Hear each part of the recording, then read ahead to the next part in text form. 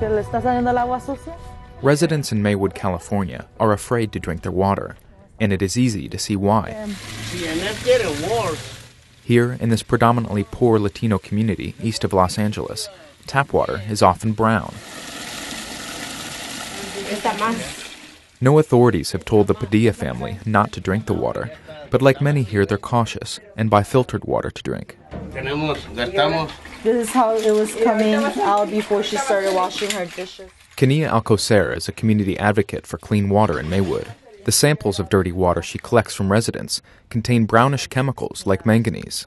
Where you see it, same home. This one was taken November 17 from her restroom. And then you see 6 p.m. water comes out dirty again. Every day, millions of Americans drink water from the tap. Under federal law, it's supposed to be free from harmful organisms and chemicals. But 35 years after Congress passed the Safe Drinking Water Act, some regulators and environmentalists say the law is now so out of date that it fails to protect residents from the most obvious threats. According to a Times analysis, since 2004, over 62 million Americans have received drinking water that violates basic health standards. Most Americans believe that their drinking water is safe, and for millions of people it is. But for a large portion of the population, there are thousands of chemicals in drinking water that are unregulated. And even for those that are regulated, we've learned things in the past decade that let us know that it, those chemicals are more dangerous. But none of the rules have been changed since 2000 for the Safe Drinking Water Act.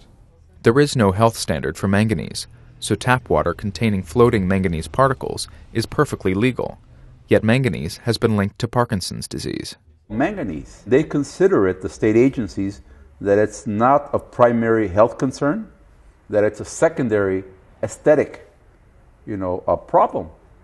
For Felipe Aguirre, the quality of drinking water here has become political. After being elected to the Maywood City Council, he made clean drinking water a priority. Water quality is the number one issue in the city of Maywood because you can knock on the door of any resident and the first complaint they'll tell you is, What are you doing about the water? Yet when Mr. Aguirre and other residents asked the three private water providers for cleaner water, opponents responded with negative ads, stating he wanted to raise water rates to pay for unnecessary upgrades. Our water is safe to drink. There is no primary contaminants. There is no health risk for to drink the water. Gustavo Villa runs one of the Maywood water systems, which has routinely tested high for manganese. After so many years, you will see these kind of uh, minerals, and they stick into the walls of the, of the main lines because the corrosion and the minerals. Yes, there is problem, but uh, still acceptable, and it passed all the Safe Drinking Water Act. Under pressure from residents and California legislators, Mr. Villa's water system is now building a treatment plant that will remove some manganese from the water. But manganese is only part of Maywood's water problem. Less visible contaminants persist, including a manufacturing solvent called trichloroethylene, or TCE. Recent studies show that TCE is more dangerous than previously thought. It has been associated with cancer and kidney and liver damage. There's a lot of distrust of the water. It's not fair that we pay double for filtered water and for this. It's expensive. El costo es grande. Like many here, Rafael Castro drinks and cooks with filtered water only. The water system feeding his tap has tested high for TCE, lead, and other industrial chemicals. ¿A quién le vamos a creer? And whom are we going to believe? I don't have anything. All that I know is what I see, what I smell, and what I taste. Como un saborcito It tastes like, un poco, like kind of bad. poco mal. El, el sabor también. The source of contamination is unclear, but some of the city's wells pull from underground aquifers near contaminated areas.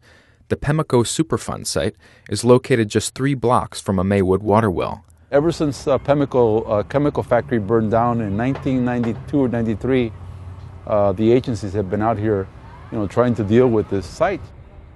The ground there is heavily polluted with TCE and other hazardous chemicals.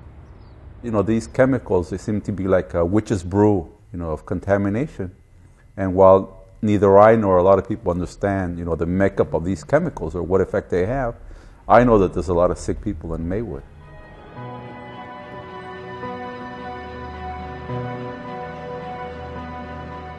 The scientists and regulators within the EPA for over a decade now have been pushing for tougher rules on drinking water and new laws that empower them. But very often, when they've tried to do that, industry has pushed back very successfully because if the rules got tighter, they, a lot of companies would have to pay a lot more in cleanup costs. And for already strapped municipalities like Maywood, the cost of filtering new chemicals could cost millions of dollars. Mr. Rolfe. Bob Rolfe runs the Maywood water system that tests highest for TCE. Is there a problem with the water here in Maywood? He would not speak on camera, but stated that we follow the letter of the law. If they change it, then that's what we'll do.